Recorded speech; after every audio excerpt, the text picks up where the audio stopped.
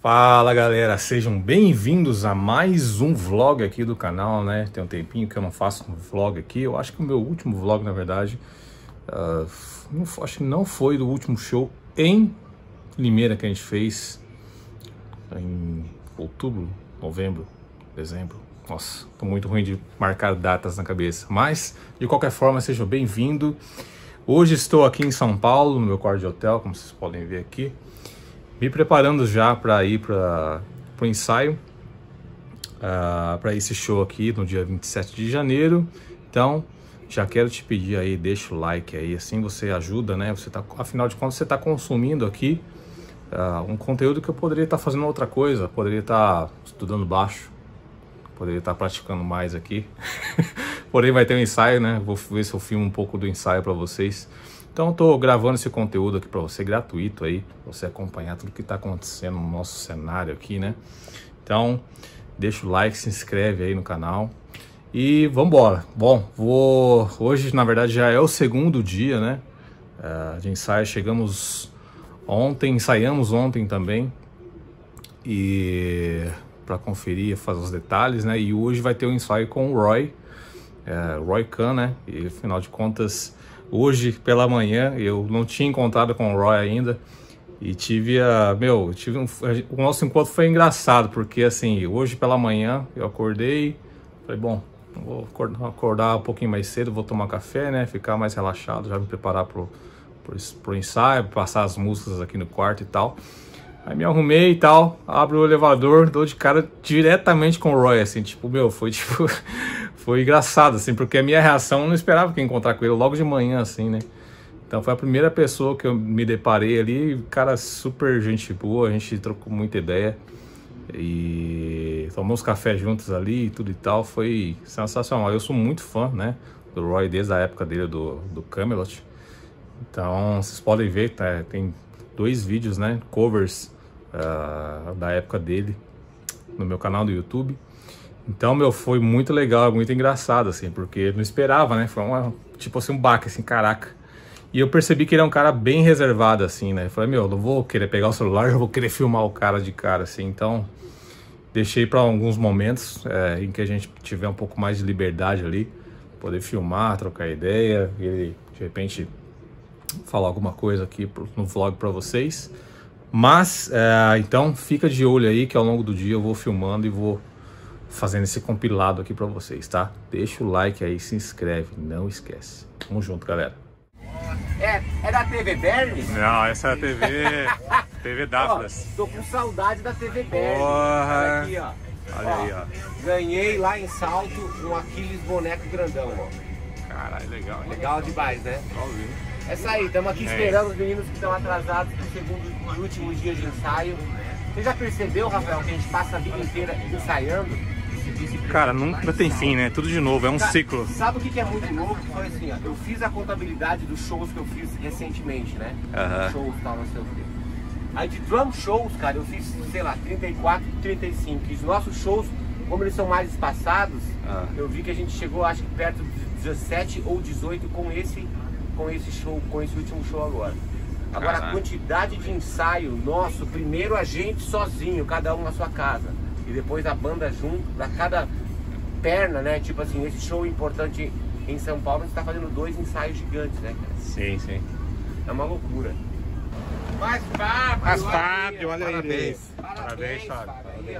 Continue assim, hein? Toda gig, né? Toda gig, Casa uma corridinha. Então já dar um depoimento também pra, pra onde a gente tá indo agora. A gente tá indo ensaiar agora, segundo dia de ensaio. Show de encerramento da Eldorado Moraes World Tour. World Tour, é isso aí.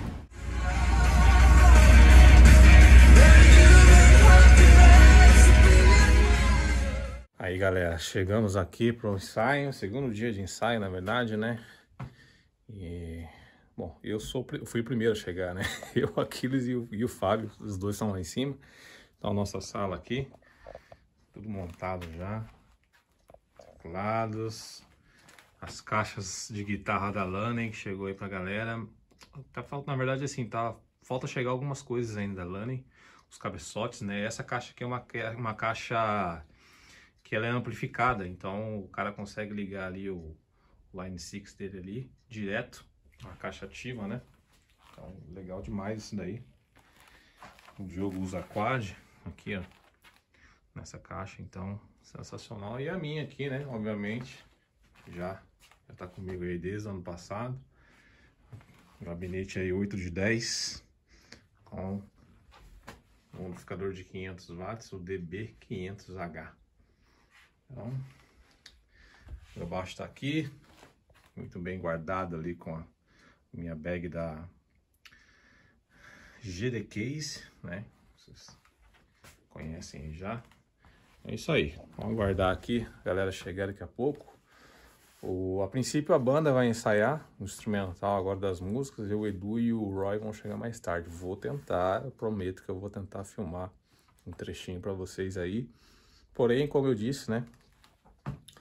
Ah, não quero ser invasivo, né? O Roy é um cara mais reservadão, então vamos ver. Se rolar, beleza, pelo menos um trechinho aí. 30 segundos, um minuto, dois. Só se você deixar o like aí.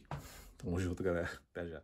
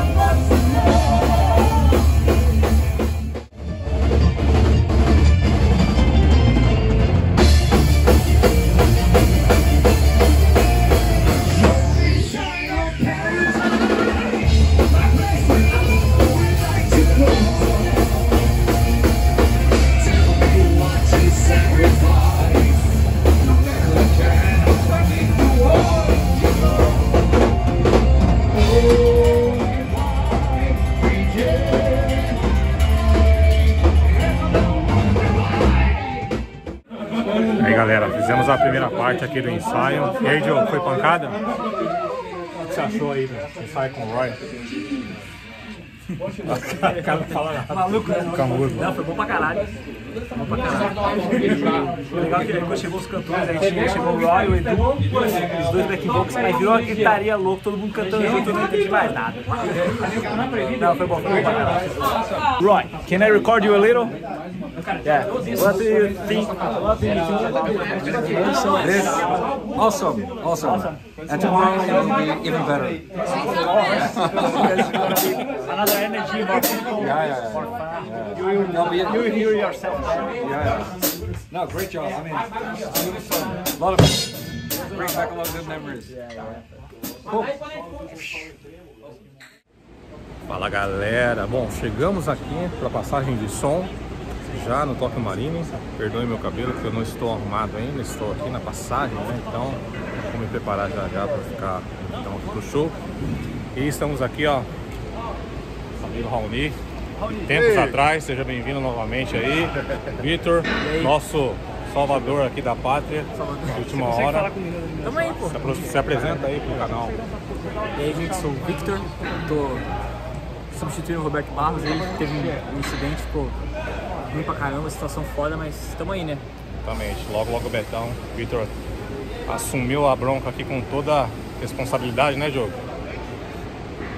Você tem a falar sobre nosso amigo Victor aí, Cara, que pegou essa merda. bucha, pegou- não, que pegou essa bucha de última hora aí. Cara, pô, ficou foda. Não vai chegar com tão pouco tempo, foi menos de 30 dias, né? Foi 20 dias. 20 dias pra tirar esse repertório e tá tocando em um nível de conseguir tocar no palco aqui com a gente, é bizarro, surreal.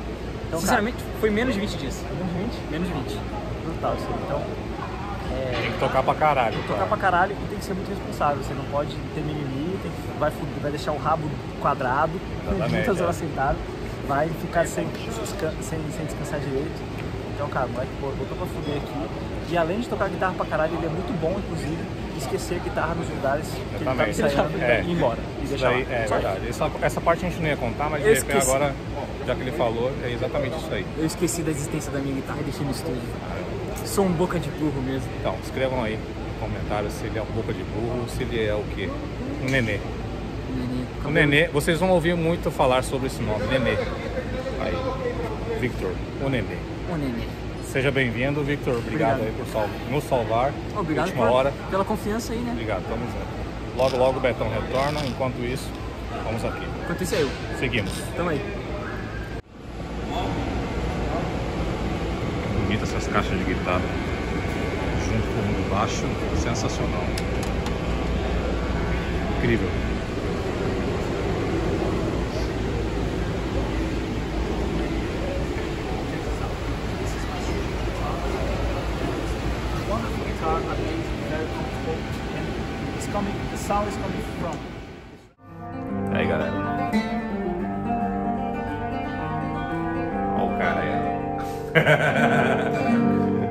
Aí. Aqui. Pô, tamo junto, Rafa. Um abração Ei, pra galera aí, pra gente. Um abração pra todos vocês aí que acompanham a sonzeira aí do Rafa. Isso aí, tava aqui no camarim, aquecendo já. Aquecendo. Vai entrar, né? Uma bagulho ali. Um abraço. Manda aí, Fábio. Vlog do Dafras. Brother ali. Galera, legal. Vamos ver um. Isso aí. Caraca, tem reverb no violão? Da caixa mesmo. Caraca, velho.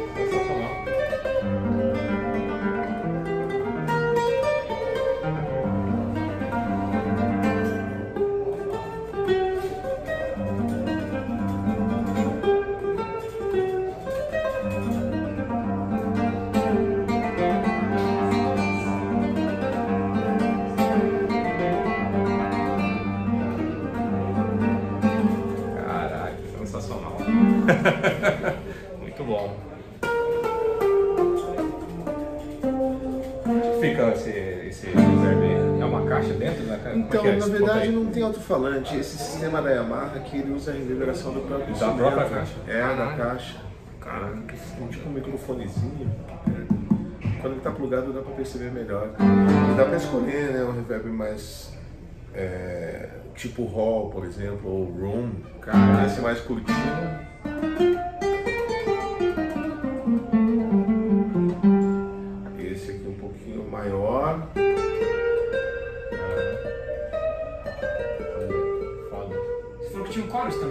Tem também, se quiser, mas violão de nylon com chorus. Caralho, mas pô, já dá um. já dá uma magia, magia totalmente diferente. É, já dá uma é outra coisa, parada, né? É né? verdade.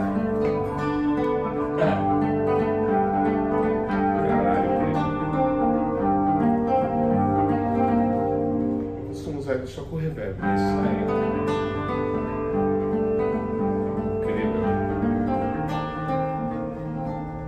Custa um violão desse? Pior que não é muito caro, sabe? Acho que hoje aqui no Brasil deve ser uma faixa de uns 4 mil, talvez. Só? É. Caraca, eu achei que eles são uns 4, violões 20 20 pontos. Não, não. Mas ele tem uns violão caro também, É, né? a Yamaha tem, tem alguns modelos que são assim, passam É. facinho de, de 20 pila.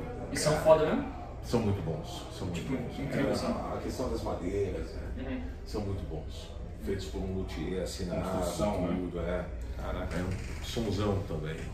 Mas aí com essa tecnologia para nylon só tem esse modelo, é o modelo 1. Caraca, eu não- eu não sabia Então, não que tinha essa parada assim, direto do cara. Legal isso. Olha né? demais. Hoje em dia tem uma galera fazendo, eu acho muito bom também aqui no Brasil, essas marcas nacionais. Mas elas trabalham com alto-falantinho interno, fica um alto-falantinho ali. Usa a reverberação da caixa também, mas aí com um sistema de alto-falante. Tem até delay, os caras estão colocando. Caraca, velho. Hoje em dia já tem guitarra com distorção. né? Sim, guitarra, isso aí eu vi. Aperta o botão aqui já. Até a Eles já guitarra, estão né? fazendo umas.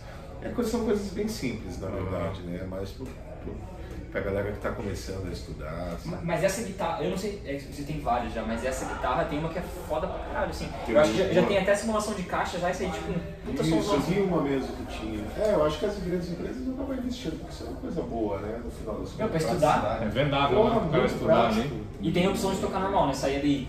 Se quiser só a linha, né? Normal. É, aí não afeta nada. Ah, então isso é fantástico, né? Incrível.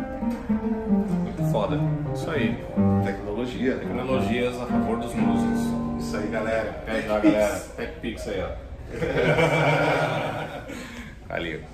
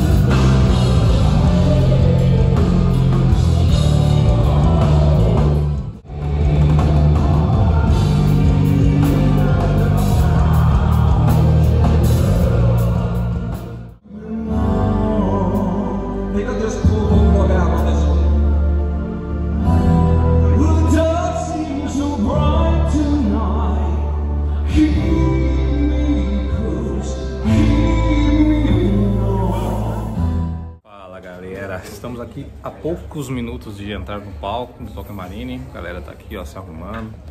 A namorada Clarissa está aqui comigo. A galera ali, dá um tchauzinho aí pro vlog. A galera aí, ó. E aí?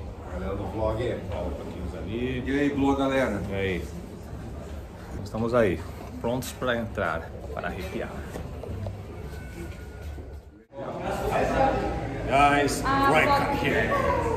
Uh, so for us, uh, for the Okay, we're here at the Tokyo Marine Hall in Sao Paulo. We're gonna rock the kids tonight. I think it's gonna be a very, very good night. yes, Right? yes.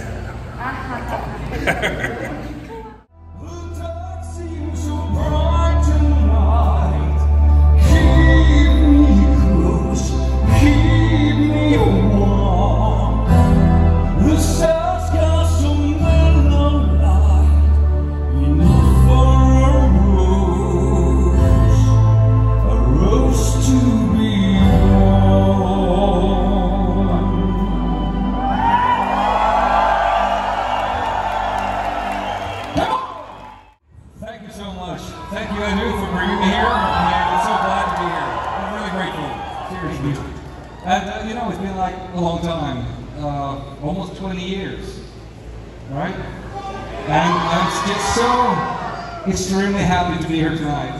It's so cool. And I hope you'll have as good a time as I will as we go on.